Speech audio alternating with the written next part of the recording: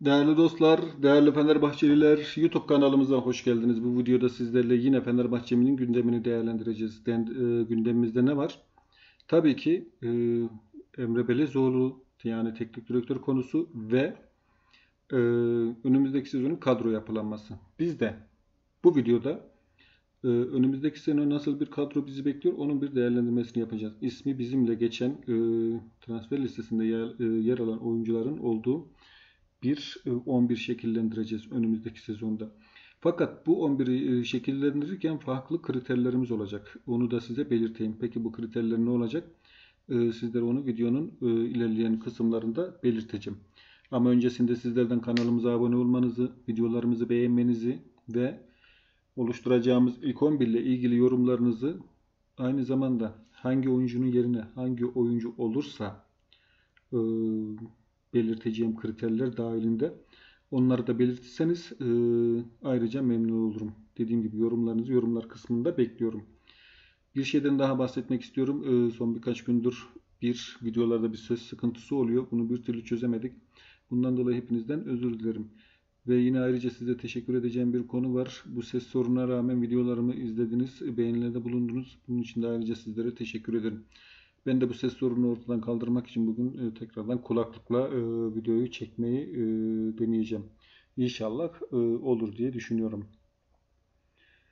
Şimdi gelelim 11'imizi şekillendirmeye. Neydi bu kriterler peki arkadaşlar?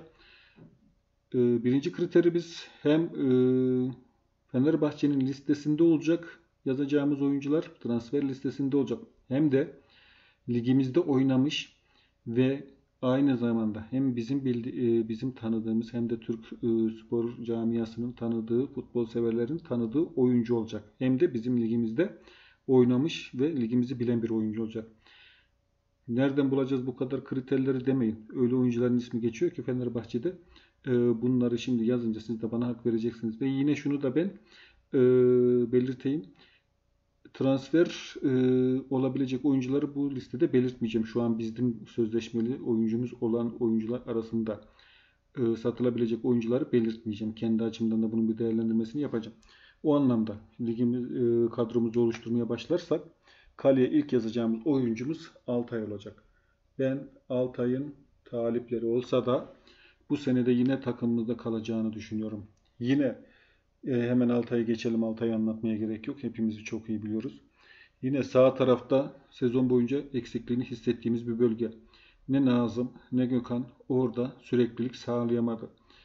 Gökhan'ın kalitesini biliyoruz ama yaşı itibariyle olsun ve sürekli 5-6 e, senedir yaşadığı sakatlıklardan dolayı bir süreklilik arz etmiyor e, oynadığı bölgede. Yoksa Gökhan'ın e, kalitesini herkes biliyor.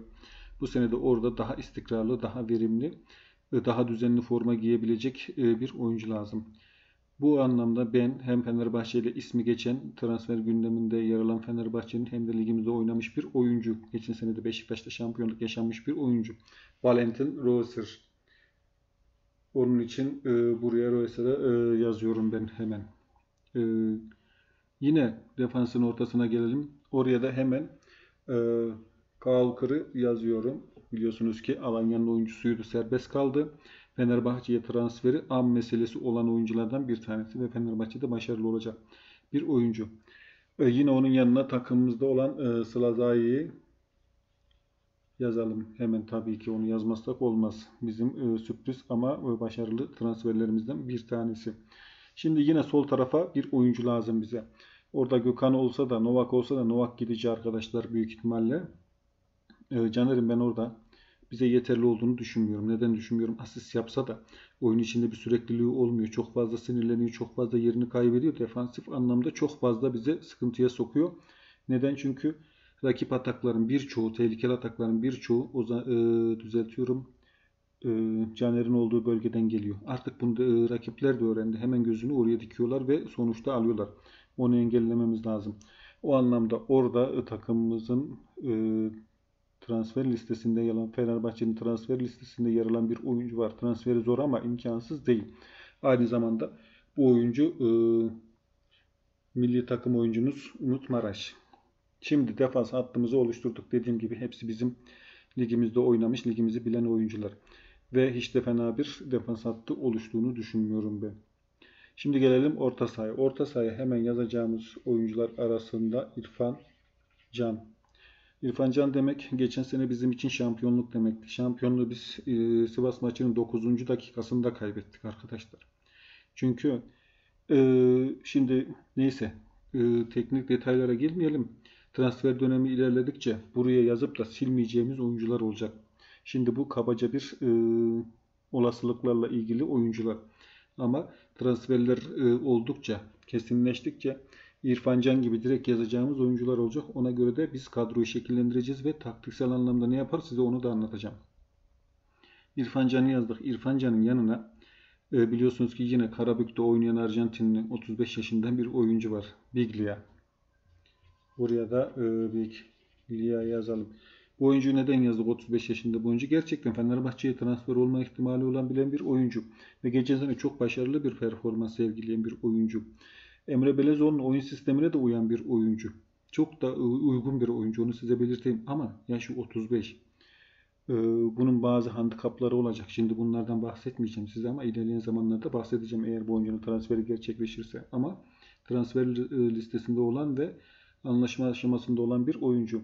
Yani bize hayırlı olsun bir susamız daha oldu. Hem yaş itibariyle hem oyun itibariyle hem yetenek itibariyle birebir birbirlerinin benzeri iki oyuncumuz oldu. İnşallah hayırlı olur. Orta sahamızı da şekillendirdik.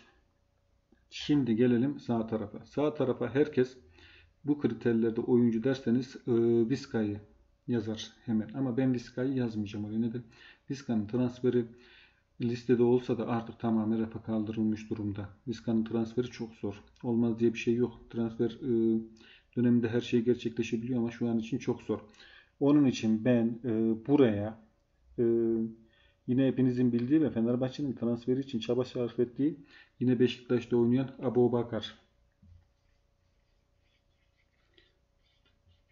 Abu Bakar yazdım. Neden yazdım? Çünkü sağlam bir Abu Bakar ligde gerçekten fark yaratır.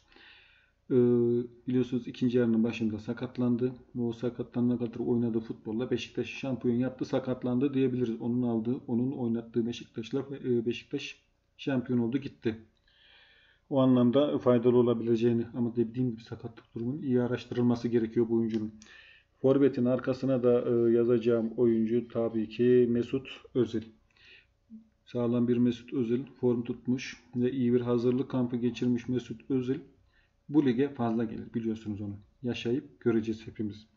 Şimdi e, sol tarafa da bir oyuncu yazacağız. Sol tarafa da bir oyuncu yazacağız derken hepiniz hemen oraya Pelkas'ı yazabilirsiniz. Ama ben oraya Pelkas'ı yazmayacağım. Oraya kimi yazacağım ben? Ee, şuradan hemen bakayım. Fabio Baroni. Bu oyuncu kim? Bu oyuncu Karabük'te oynayan Arjantinli 29 yaşında e, bir hem sol açık hem forvet oynayabilen bir oyuncu. Şimdi neden buraya ben Boroni'yi yazdım? Bu da dediğim gibi Fenerbahçe'nin transfer gündeminde yer alan bir oyuncu. Pelkas'ın maç işinde inişli çıkışlı bir performansı oluyor. Ligi, e, maçın sonuna doğru çok fazla yoruluyor. Hani neden çıkıyor diyorsunuz da işte ondan çıkıyor.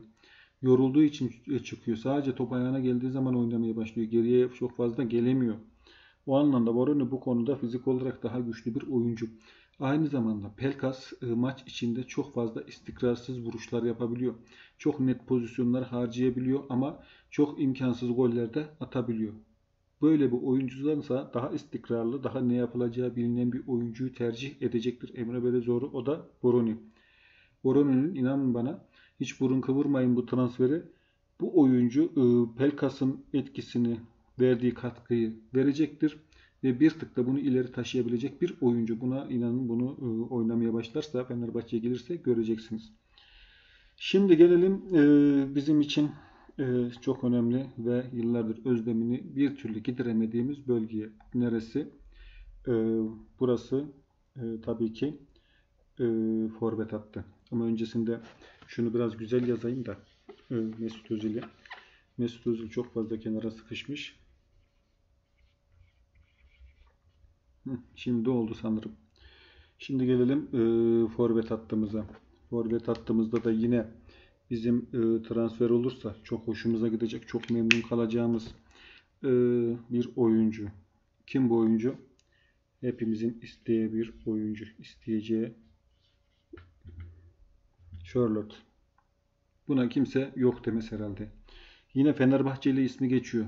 Fenerbahçe bu transfer için sonuna kadar zorlayacak. Çok büyük rakipleri var ama Fenerbahçe'nin e, isteyip de alamayacağı bir oyuncu yok.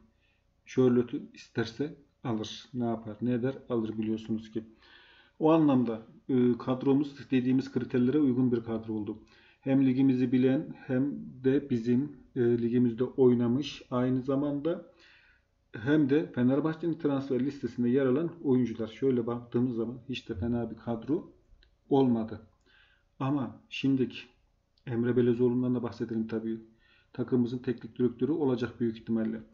Şimdi e, kurulan kadroya bakınca ben size Emre Belözoğlu'nun nasıl bir oyun sistemi oynatacağını, nasıl oyunculara hangi görevleri vereceğini e, ve oyuncuların nasıl oynaması gerektiğini tek tek anlatacağım.